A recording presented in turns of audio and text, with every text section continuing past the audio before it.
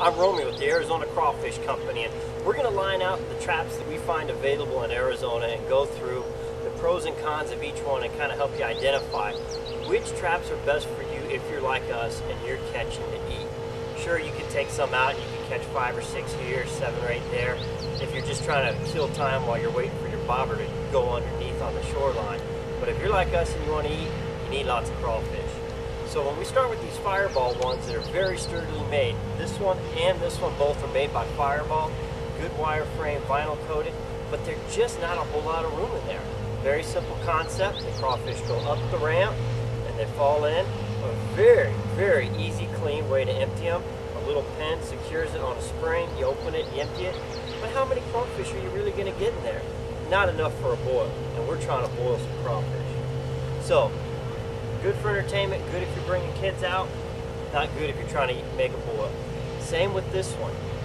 When you they stack nice and they store nice, but by the time you break it out and you put it together, it's really not a whole lot of room for trapping crawfish.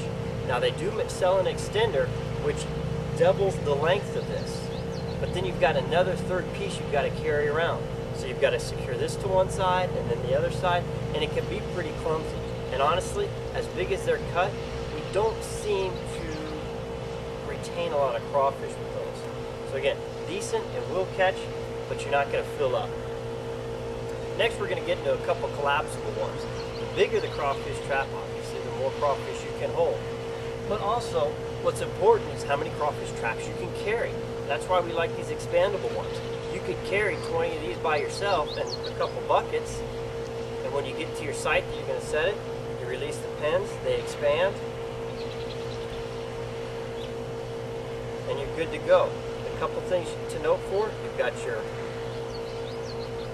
open and exit point for emptying your crawfish, and then you've got your bait. What we really like about these bait pouches is when you set it in the water, it just seems to catch better with the bait on top. You could set one of these, two of these side by side, one with the bait up and one with the bait down, and every time the one with the bait down will not have as much crawfish. We don't know the science behind it. We kind of suspect something about the scent gets out a little bit better as the water flows. But whatever it is, the bait's up, it'll catch more. So these we really like just because of how many you can carry, and we've had very good success.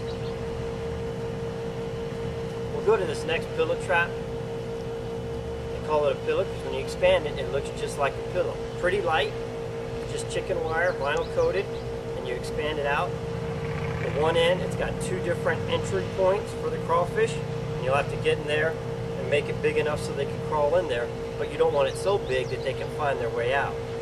The other side, it just has one entry point, and then you've got your big opening for emptying crawfish and also putting bait in.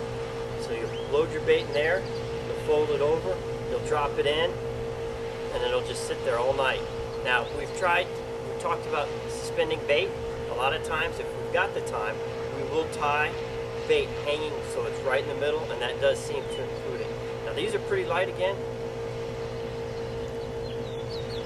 It just takes a whole lot more time to expand and collapse these.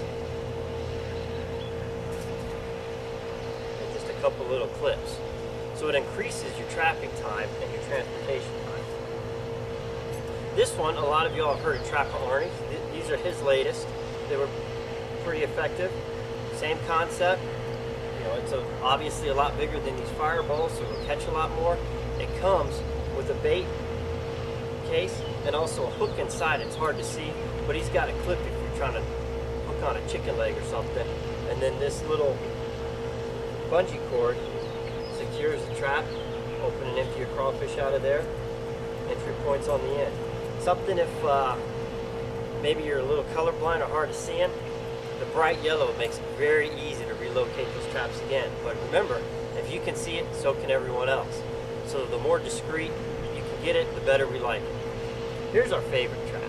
It's made by Promar, just like this other pink one, but it's circular.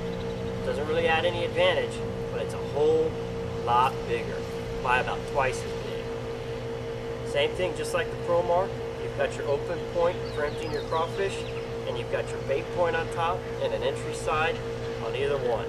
You want to talk about being able to walk carry a lot of these a long ways and produce a lot of crawfish, this is your ticket.